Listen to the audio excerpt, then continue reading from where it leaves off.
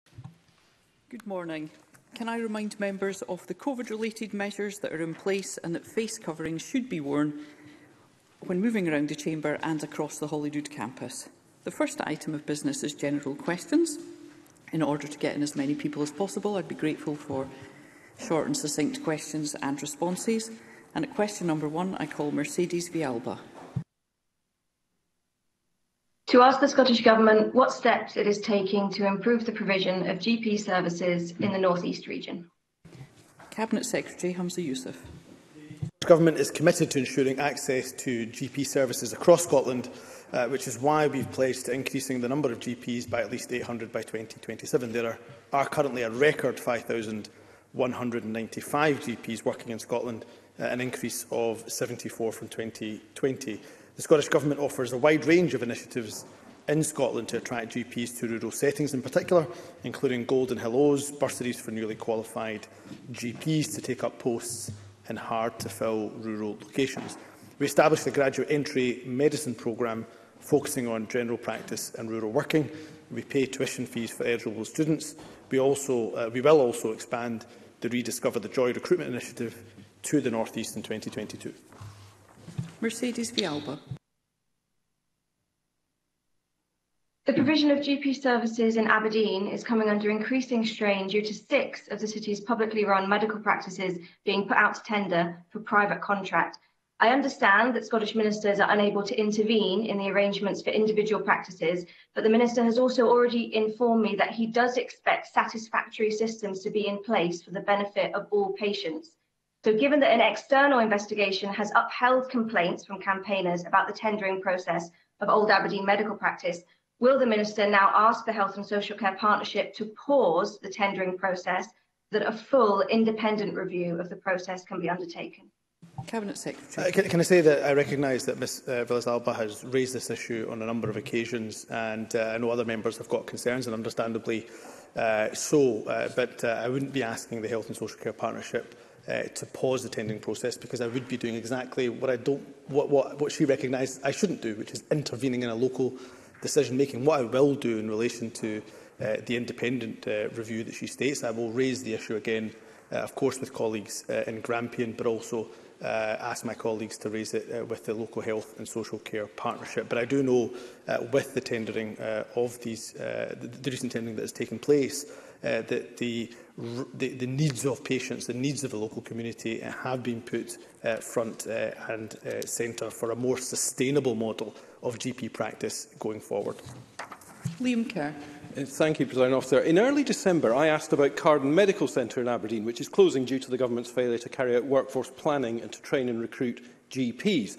Now, true to form, the Cabinet Secretary evaded my question, so I ask again – When precisely does the Cabinet Secretary project that the North East will have enough GPs to run the services that the people of Aberdeen need and deserve? Cabinet Secretary. He's in, incorrect in his assertion, of course, because Scotland has more GPs per head, per 100,000, than any other part of the UK. Not by a margin, not just slightly, but significantly more.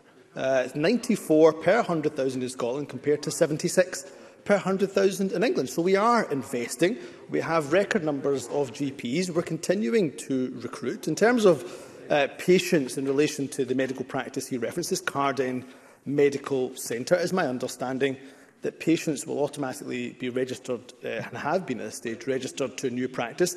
There are nine practices within a mile radius of Cardin Medical Centre and a total of 27 practices in the Aberdeen city area. So the needs of patients are being put first and foremost. But what I would say to uh, Liam Kerr is the reason why we have such a good record uh, in, in GP recruitment and GP retention uh, is because we invest in our GPs, and I'm sure that's why the Scottish public have chosen to re-elect us for a fourth term, and he continues in opposition. Question number two, Jenny Minto you, Presiding Officer, to ask the Scottish Government what action it is taking to improve awareness of mental health. Minister Kevin Stewart. Presiding Officer, uh, the Scottish Government has highlighted the importance of mental health and wellbeing and provided a range of advice and support through the Clear Your Head radio, television and online campaign, through NHS Inform and via Young Scots I Feel platform. In addition, our mental health transition and recovery plan includes a range of wider actions to support and promote good mental health and well-being in response to the pandemic. Uh, these include providing long-term funding for CME Scotland's campaign to end the stigma and discrimination associated with mental illness, working with employer groups, trade unions and mental health organisations to promote mentally, mentally healthy workplaces, launching a £15 million communities fund to support adult mental health and wellbeing in communities across Scotland, and working with partners to provide a range of resources to meet the needs of children and young people, including over 200 new community support services. Jenny Minto. I thank the Minister for that answer. Next Monday, the 17th of January, Samaritans will hold their yearly event, hashtag Brew Monday, to remind everyone to reach out for a cuppa and a catch-up with the people they care about. Would the Minister join me in supporting this event, which can also be carried out virtually? Minister. Um, thank you, President Officer, and I certainly uh, join Ms uh, Minto in her support for uh, the Sam Samaritans. Um, I greatly value the important work of the Samaritans and I'm delighted to support their uh, Brew Monday event. Um, this is really important. I recognise that January, January can be a difficult time uh, of year for lots of people at the best of times. Uh, but we all have our good days and bad days, but there's always a sense that the short days, the poor weather and the end of the festive season can have an impact. And we should all come together uh, to help one another um, through that. Um, and I applaud the Samaritans for their efforts in these regards. And I would urge every member uh, to support the Brew Monday event. Carol Mockin. Thank you, Presiding Officer. At Tuesday's Health, Social Care and Sports Committee, a leading occupational therapist, Suzanne Shields, called on parliamentarians to, and I quote, give children and families access to free physical and leisure activities with support in place. Does the Minister agree this is a key area that the Scottish Government has to focus on as an immediate priority in relation to mental health policy? And what assurances can he give to the many children and families today for whom physical and leisure activities are either too expensive or often far away? Minister. Um, thank you, President Officer, and I believe that uh, play uh, and physical activity is extremely important uh, in ensuring folks' mental well-being. Uh, and that's one of the reasons why, for example, the government in its manifesto uh, had a commitment uh, to put resources uh, into play parks, for example. Um, I recognise what uh, Ms Mochan is saying around about um, costs in terms of accessing leisure activities, um, but as Ms Mochan is aware, um, many of uh, the responsibilities in terms of those charges rest with local authorities. I would encourage local authorities in their budgeting process uh, to look at what offers they can make to those families uh, that may find difficulty in accessing accessing these services. I know that that happens in many parts of the country. I would encourage those local authorities that don't have such schemes uh, to have a look at that as we move forward. Question number three, Neil Gray. Thank you, Presiding Officer. To ask the Scottish Government what support and treatment is available for people diagnosed with phenylketonuria. Minister Marie Todd. The Inherited Metabolic Disorders um, Service for Adults and Paediatrics is a national commission specialist service working out of sites in both NHS Greater Glasgow and Clyde and NHS Lothian. This service is available to all IMD patients in NHS Scotland, including those with conditions such as phenylketonuria, the service aims to improve life expectancy, quality of life, and provides diagnosis as well as advice and treatment to manage and control symptoms. Most people will require lifelong follow up and support from the specialist service. Neil Gray.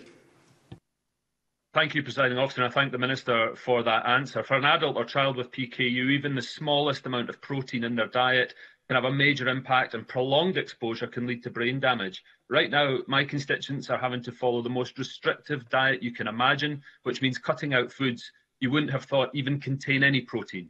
Generic versions of the drug sapropterin are now available, which could transform the lives of people eligible with PKU and Airdrin shots and across Scotland by reducing the need to restrict their diet.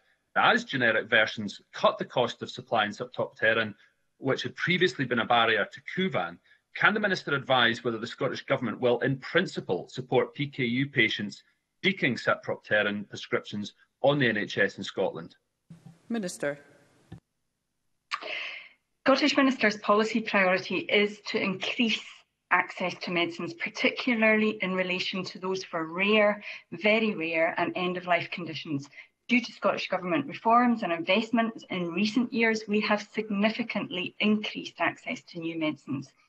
Um, the member is correct. The first generic ver version of sapropterin has received a marketing authorisation from the Medicines and Healthcare Products Regulatory Agency, the MHRA, to ensure best value for NHS Scotland. NSS National Procurement will shortly be tendering for the future supply of sapropterin to NHS Scotland. Given the launch of the first generic, we are currently considering how best to provide advice to health boards on whether ciprofloxacin should be made available for routine use in NHS Scotland based on the latest available evidence. Question number four, Fulton McGregor. Thank you, President Officer. To ask the Scottish Government what action it has taken to encourage people who are able to donate blood, particularly during the winter period and ongoing COVID-19 pandemic. Minister Marie Todd. So I would like to take the opportunity to thank blood donors for continuing to come forward um, over the particularly difficult winter period in spite of the ongoing pandemic. This has meant that the Scottish National Blood Transfusion Service has been able to provide enough blood to meet the needs of patients and although the, the, situation can be volatile, so I would encourage um, those who can donate blood to continue to do. SNBTS has well developed plans in place to ensure it has sufficient donors and there have been successful radio, television and media campaigns over the festive period to encourage donations. Fulton McGregor. Yeah, I thank the Minister for that response I, and also for a positive response to my members' debate on this very subject yesterday and would echo her calls to encourage people eh, to give blood if they haven't for a while or if they've never given blood before. But given the importance of donating blood to the wider NHS and the fact that the number of donors did drop during the first year of the pandemic, Will the Government co commit to considering what more it can do to increase the number of active blood donors, including, for instance, encouraging workplace schemes allowing employees time off to donate blood? Minister. So I know that SMBTS is already doing good work with many organisations to highlight the need for blood donors, but I am very happy to look at what the Scottish Government can do to support that. Paul O'Kane.